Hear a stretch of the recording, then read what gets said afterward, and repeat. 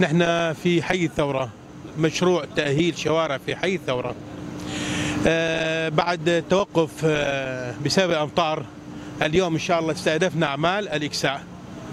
آه، اليوم الإكساء من مدخل بيت هجوري باتجاه سايدين البيطرة المرحلة الأولى هذه؟ نعم المرحلة الأولى المرحلة الثانية ندخل على الأفرع إن شاء الله.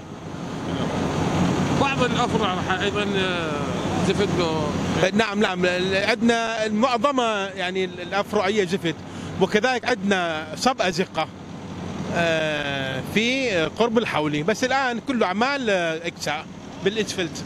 الحولي concrete راح يكون؟ آه، لا الحولي هم هم إسفلت. ولكن أكو أفرع تؤدي لحولي هي صب أزقة. أعمال الأرصفة كملت. الأرصفة والقوالب الجانبية كملت نعم بالكامل. نعم لم يبتقى إلا الإكساء. أكو كان تنسيق بينكم وبين المجاري. نعم نعم جماعة المجاري. وجماعة الماء يعني صارت معوقات ولكن بجهود الطرفين والتعاون تم حل هذه المعوقات. مع الكهرباء مع مع الكهرباء مع اتصالات مع الماء مع المجاري.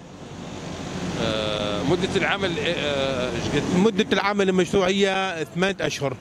آه، مضى منها أربعة أشهر وخمسة أيام. راح تكمل إن شاء الله خلال إن شاء الله خلال شهر الحي يكمل بالكامل للإكساء ويكمل المشروع. نسبة الإنجاز معدل. نسبة الإنجاز الآن هي تقريبا 75% لم يبقى سوى الإكساء من يكمل الإكساء الشهر القادم يصير إنجاز 100% الصعوبة وين كانت بالعمل الاستاذ؟ والله الصعوبة بالعمل هي تكسير الأرصفة وعاء صبة لأن دائما يعني يحصل كسور في الأنابيب والاشتراكات وكذلك حتى الأنابيب الناقلة.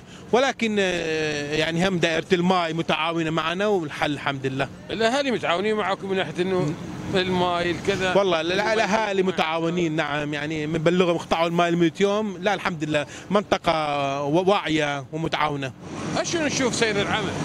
والله إن شاء الله ماشي على وتيرة حلوة وجميلة. نشكر السيد المحافظ بتوجيهاته مستمرة ولقاءات يومية أو مستمرة بهذا العمل ونشكر بلدية الموصل ونشكر الشركة المنفذة ولو شوية صار هناك إشكالات بسبب الأجواء وغيرها بس إن شاء الله ماشية الأمور وتقريبا هسه توصل المراحل الختاميه آه، أنت من المنطقة.